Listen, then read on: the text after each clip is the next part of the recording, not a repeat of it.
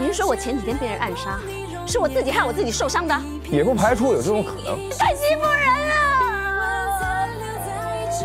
对不起啊，是我刚才说话太过了。既然你认错，那我就不计较了。多傻呀！